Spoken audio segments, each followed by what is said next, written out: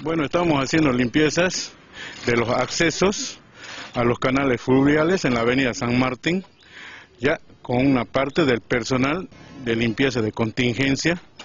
Eh, y también hemos podido abarcar en los canales fluviales eh, entre, en el barrio ferroviario adyacentes a la cancha ferroviaria, que son los canales ya no que ya se nos vienen las lluvias y estamos dando la limpieza de todos los accesos que hay a los canales fluviales. Yo quiero pedirle a la población nos apoye, la limpieza es de todos, hay que sumarse, hacer, a mantener limpio nuestros accesos para que no tengamos embotellamiento o un tapado de canales.